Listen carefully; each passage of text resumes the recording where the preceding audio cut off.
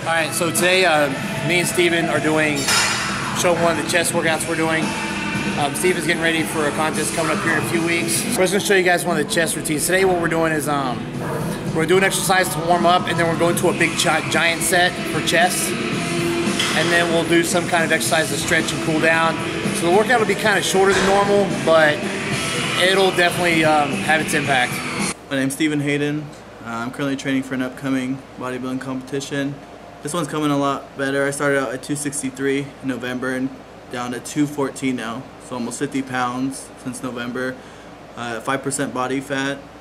Uh, we've been able to keep my carbs pretty high um, and able to drop the body fat a lot easier this time without having to do a lot of cardio. Been training with Jed off and on for three years. This is our second competition together. Uh, this one's coming I've developed a lot more with Jed, so obviously this one's coming a lot easier. I measured in at the Paradise Cup at 214. I'm currently at that weight now with less body fat. I think I came in at 7% with the Paradise and I'm at 5% now. Uh, and I got about six weeks left.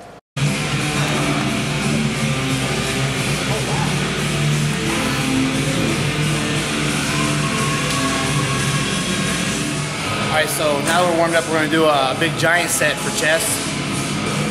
It's going to be pec deck, flat barbell, incline dumbbell fly, incline barbell, and then we're going to finish off with push-ups. So five exercises, um, probably three or four rounds we're going to do. And then after that, we'll stretch out, do some abs, and should be good to go. For the workout style, I like to switch things up a lot. Like I mentioned earlier, we did giant sets. Um, sometimes we'll do cadences with like a four second positive and negative with one second hold. Sometimes we'll do high reps, supersets, just whatever. Always keep it changing. So like Steven mentioned, this is uh, the second time he's prepped for a contest with me.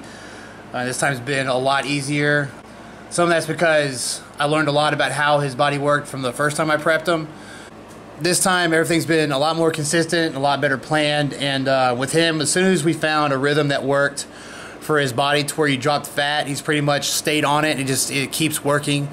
So um, you know we follow the if it isn't broke, don't fix it.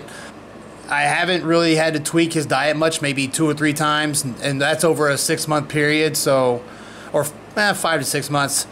It's you know the considering as much weight, body fat as he's dropped, that's uh, pretty good. And um, he's barely carb cycling right now as it is. And even on his days that would be considered a low carb day, he's still eating quite a bit, like around sometimes three, 400 grams. I think the lowest he goes is 300 right now, which is um, a pretty good amount. For Steven, this is only the second time he's, he's done a competition with the way he looked on stage last time and the way he's going to look this time is going to be quite a significant difference. And the more he does it, the better he's going to get. So now we did like three circuits of the giant set. So what we're doing now is we're doing like a cool down exercise. It's uh, just a cable fly, about mid chest, what we're aiming for. We'll do um, whatever number of reps, nothing crazy, like you know, 10 to 20. Just uh, really kind of focusing more on feeling it, controlling, and then at the end, come back and without, I mean, don't let don't let the weight control you, but let it tightly, slowly work back and just let the weight stretch you back out. Hamstrings are showing now. Do, do your two first burst five.